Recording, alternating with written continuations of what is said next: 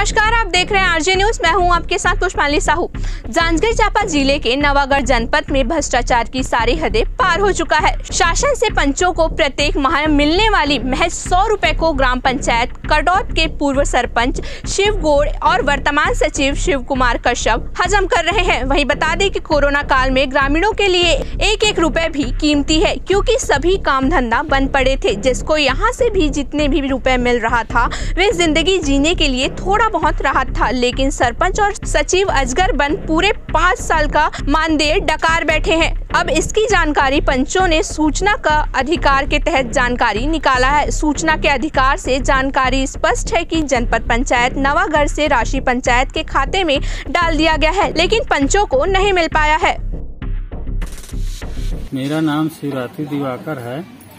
मैं पूर्व सरपंच प्रतिनिधि हूँ। सरपंच का पति हूँ। तो हम लोग आज 20 पंचों सरस्वती शिशु मंदिर में हम लोग उपस्थित हैं।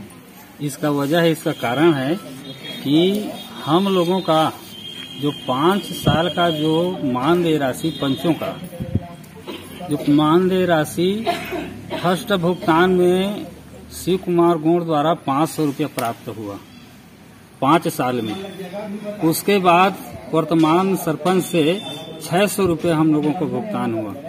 कुल मिलाकर के ग्यारह सौ रुपये। जबकि हम लोग आवेदन जो किए हैं तो आवेदन का वजह है इसका जो मानदेय राशि के नाम से सूचना के अधिकार के तहत हम लोग जनपद पंचायत से निकाले हैं जो दस्तावेज़। इससे हमें जानकारी हुआ है कि एक लाख पैंतालीस हज़ार रुपये हमारे पंचायत खाता में आया था, पूर्व पंचायत खाता में।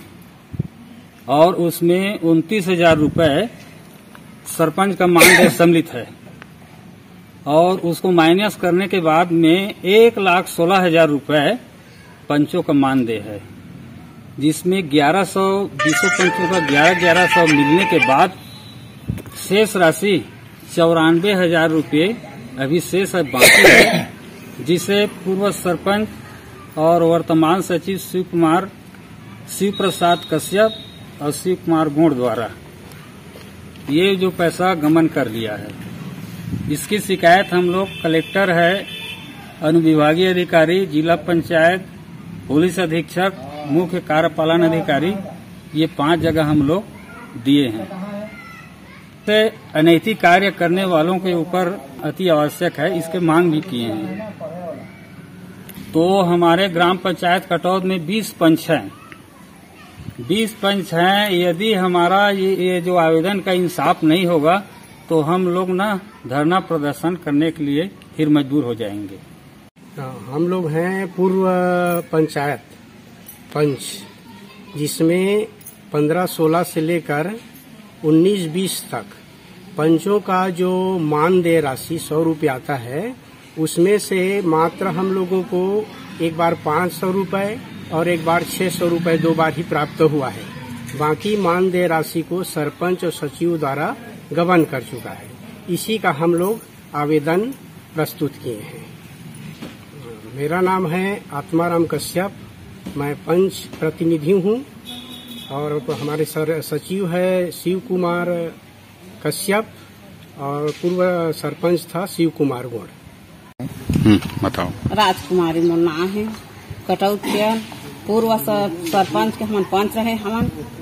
तमल नया सरपंच मना, छह सौ दे है और पुराना सरपंच पाँच सौ दे है। तो हमन के पूरा पैसा खा दे है, वही दे।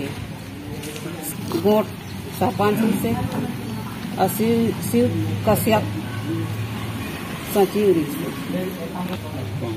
पाँच साल पाँच साल में हमारे पाँच सौ मिले है भाई यह वही हमारा पैसा नहीं मिले थे कार बारे में।